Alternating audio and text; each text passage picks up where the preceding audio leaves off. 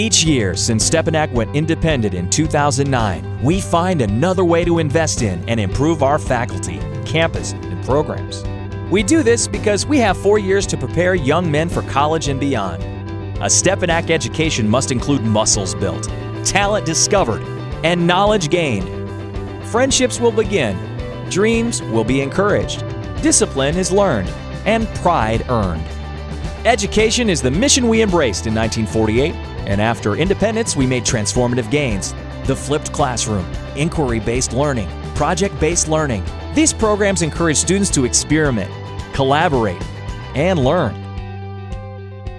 My education at Archbishop Stepinac has been absolutely phenomenal. Stepinac here provided me with values that built me into the person that I am today. I think what makes Stepinac unique in, on the educational side is that you have these teachers who really do care about the students, who are invested in their success. Stepinac's ability to be at the forefront of development and progress is due to the commitment of the faculty. We have very easy and quick access to not only other classmates, but our teachers teachers and online resources that we can use to learn. One thing that's unique about Stepinac's education is the Honors Academy. It allows students to indulge themselves in specific areas that they would like to study in. At this level in education, you don't really see the integration of technology as much as we have been able to do it here today. The technology that Stepinac uses allows students to diversify their education. Education at Stepinac has fully prepared me for a career in the future by allowing me to collaborate with others and take on leadership roles.